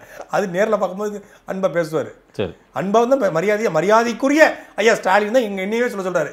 நீ திட்டுனா கூட மரியாதையை திட்டு. சரி. ஆக அந்த வகையில் மரியாதைக்குரிய அப்படி தான் பேச சொல்லியிருக்காரு. உங்களுடைய சாட்டை வலையொலியும் நாங்க தொடர்ந்து பார்த்துட்டு இருக்கோம். மக்களும் பார்த்துட்டு இருக்காங்க. அதிமுக மீதான எதிர்ப்பு பத்து பர்சன்ட் தான் இருக்கு. திமுக எதிர்ப்பு தொண்ணூறு தொண்ணூத்தொன்பது பர்சன்டே இருக்கு. இதற்கு உங்களுடைய பதில். இனி நூறு விழுக்காடு திமுகவை நான் எதிர்க்கலான்னு இருக்கேன். இந்த கேள்விக்காகவே. அதிமுகவை எதிர்க்கவே சொ- நான் வெளிப்படையா சொல்றேன். ராஜீவ் காந்தியும் திரு கல்யாண சுந்தரம் சொல்றத மெய்ப்பிக்கலான்ற முடிவு பண்ணிட்டீங்க. கல்யாணம் சொன்ன சொல்றது இல்ல ராஜீவ்காந்தி தான் சொல்றாரு. கூட அவர் அதிமுக போயிருக்காரு. பத் ஆறு மணிக்கு சாக போற கிழவனை நாலு மணிக்கு நான் கொல்ல தயாரா இல்ல. சரி. அதிமுக என்கிற கட்சி அழிந்து கொண்டிருக்கிறது. வெளிப்படையா நம்ம பேசுவோம். அதிமுகங்கிற கட்சி அழிப்ப அழிந்து கொண்டிருக்கிறது. இதோட முடிய போகுது. திராவிட முன்னேற்ற கழகம் முந்நூற்றம்பது கோடி பிசா பிரசாந்த் கிஷோர் கொடுத்து விடியலை நோக்கி. அவர் தான் வாராரு. அள்ளி கட்ட போறாரு. அந்தா வந்துட்டாரு. ஸ்டாலின் தான் வராரு. சண்டை போட போறாரு. அப்படின்னு அவங்க முழக்கம் போட்டு வராங்க. கிராம சபை கூட்டம் என்ற பேரில் தங்க கட்சிக்காரனை கூட்டி வச்சு பிரம்பம் காட்டி மக்களை வந்து பொய்யான பரப்புரை செய்கிறாங்க நூறு நாள் நான் வந்தால் தமிழ்நாட்டை மாற்றிடுவேங்கிறாரு நூறு நாளில் வந்து எல்லா கோரிக்கையும் நிறைவேற்றுவேன். ஒரு கோடி விண்ணப்பங்களுக்கு வந்து மனுங்களுக்கு வந்து சரி செய்ய போகிறாங்கிறாரு ஆட்சி அதிகாரத்தில் இருக்கும்போது எந்த கோரிக்கையும் கேட்கல. சென்னையில் மேயராக இருந்தார். மரியாதைக்குரிய ஸ்டாலின் சென்னையில் மேயராக இருந்தார். மேயராக இருந்தபோது ஸ்டாலின் வாங்கிய மனுக்களுடைய எண்ணிக்கை என்ன தெரியுமா? வெறும் 650 ஐம்பது. அதே சைதை துரைசாமி அவர்கள் அவர் மீது எனக்கு அதிமுக இருந்தார். அதே சைதை துரைசாமி பத்தாயிரம் மனுக்கள் வாங்கியிருக்காரு. இன்னைக்கும் பதிவேட்டில் இருக்கு. சென்னை மாநகராட்சி பதிவேட்டில் போய் பாருங்க. எத்தனை முறை சைதை துரைசாமி பார்வையிட்டார்? எத்தனை முறை வந்து ஸ்டாலின் பார்வையிட்டார்னு சைதை துரைசாமி அதிமுகவில் இருந்த சேத்தில் மூலத்தை செந்தாமர்னு ஐயா ராமதாஸ் சொன்னாப்புல. சைதை துரைசாமி ஓரளவுக்கு மேயராக இருக்கும்போது சென்னை கொஞ்சம் ஓரளவுக்கு மாற்றினாரு ஆனால் இ சென்னையில் மேயராக இருக்கும்போது சென்னை சிங்கார சென்னைங்கிற பேரை சீரழிஞ்சு சென்னையை மாற்றி விட்டு மரங்களை நடுறங்களை பேர மூணடி மரத்தை நட்டு எல்லா மரமும் தானே போய் வரதா போய் விழுந்து காரணமே ஸ்டாலினுடைய புரிதல் இல்லாமல் தான் ஒரு மேயராக இருந்தபொழுதே சென்னையை சரி பண்ண முடியாது இவர். ஒரு நாட்டின் முதலமைச்சர் ஆனால் என்ன செய்வார்? சரி. அப்படிப்பட்ட கேள்விகள் நம்மகிட்ட இருக்கு. அதனால நம்ம வந்து அதை ஏற்று நிற்கிறோம் திரு ராஜீவ் காந்திக்கு என்ன சொல்ல விரும்புறீங்க? எங்கள் அண்ணன் பொழைச்சு போகட்டும். இயல்பா திரு சீமான் அவர்கள் மீது எழக்கூடிய விமர்சன கேள்விகளை தான் நான் முன் வச்சிருக்கேன். நீங்க சொல்லியிருக்கீங்க. மக்கள்கிட்ட கொண்டு போய் கொடுப்போம். நேரில் வந்து பேசியமைக்கு நன்றி திரு சாட்டை துறை ரொம்ப நன்றி நன்றி நேர்களே. மீண்டும் ஒரு கொடி பறக்குது நிகழ்ச்சியில் சந்திப்போம். நன்றி. வணக்கம்.